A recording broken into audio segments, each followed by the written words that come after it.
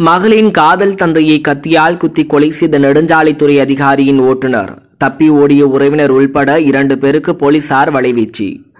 திருச்சி மாவட்டம் லால்குடி பேரூராட்சி பகுதியில் உள்ள சுண்ணாம்புக்கார தெருவை சேர்ந்தவர் பிச்சை மகன் கணேசன் என்ற பார்த்திபன். வயது நாற்பத்தி எட்டு.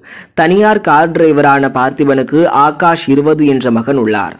ஆகாஷ் பத்தாம் வகுப்பு வரை படித்துவிட்டு பொறுப்பற்றவனாக தெரிந்துள்ளார். அதே பகுதியில் உள்ள வளையல்கார தெருவை சேர்ந்த சுந்தர மகன் முக்காடுகுமார் என்ற செல்வகுமார் வயது நாற்பது. இவர் தஞ்சாவூர் மாவட்டத்தில் உள்ள நெடுஞ்சாலைத்துறை கண்காணிப்பு பொறியாளருக்கு ஓட்டுநராக பணியாற்றி வருகிறார். இவரது மகள் தர்ஷினி திருச்சியில் உள்ள கல்லூரியில் படித்து வருகிறார். ஆகாஷ் தர்ஷினியை கடந்த ஓராண்டாக காதலித்து வந்துள்ளார். இருவரும் ஒரே சமூகத்தினை சார்ந்தவர்கள்தான். இருப்பினும் தர்ஷினியின் தந்தை முக்காடுகுமார் ஆகாஷ் மற்றும் அவரது தந்தை ஆகிய இருவரையும் கண்டித்துள்ளார். ஆனால் தர்ஷினியிடம் பேசுவதை ஆகாஷ் நிறுத்தவும் இல்லை. இதனை பார்த்திபன் கண்டிக்கவும் இல்லை. இதனால் ஆத்திரமடைந்த முக்காடு குமார் இன்று லால்குடி கோடிக்காத்த தெருவில் உள்ள மாரியம்மன் கோவில் பகுதியில் சென்ற அவரை முக்காடு குமார் அவரது நண்பர்கள் ஆட்டோ ஓட்டுநர் பாம்பு நாகராஜ் ஆகிய இருவரும் வழிமறித்து கத்தியால் குத்த முயன்றனர்.